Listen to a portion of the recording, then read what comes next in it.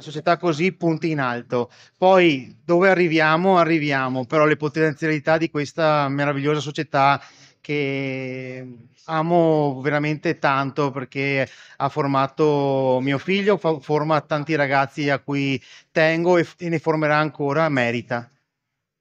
In generale hai consolidato quello che è il eh, pacchetto dei consiglieri che, erano, che so, erano facenti parte del vecchio consiglio ma la novità più rilevante sarà quella dei due vicepresidenti che sono stati a te vicini all'inizio della tua carriera qui all'interno. Sì, allora è stata riconfermata, riconfermato tutto il gruppo, ci sono eh, alcune novità che sono Matteo Leonelli che è colui che mi ha affiancato nell'ultimo periodo su, negli eventi, Mariella Gutierrez che seguirà tutto probabilmente tutto il settore femminile e Adriano Nardi che seguirà, proporremo di, che, che segua la Serie C. Poi sì, i miei al mio fianco ho chiesto la collaborazione di Maurizio e Federico che sono i, con, i, con i quali abbiamo iniziato questa avventura sempre da genitori, da accompagnatori e tutta la, la filiera che, che c'è stata.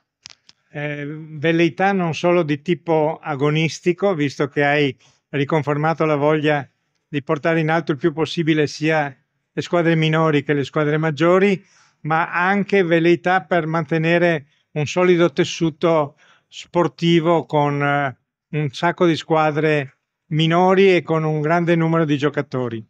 Eh, sì, è quello che il Villorba è. È una società riconosciuta ed è una società che deve rimanere nei, nei vertici ed essere anche punto di riferimento. E per far questo dobbiamo essere all'altezza, quindi portare il mini rugby ad avere numeri maggiori, dobbiamo aiutare i nostri tecnici nella continua formazione, dobbiamo fare tutto quello che serve per rendere grande, continuare a rendere grande questa società che è il Villorba Rugby.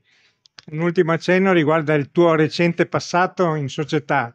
Sei stata una delle colonne portanti per quel che riguarda l'attività eh, degli eventi e tutto quello che è la clubhouse. Ecco, hai lasciato in buone mani e potrai seguire ancora, non vorrai più seguire questa cosa.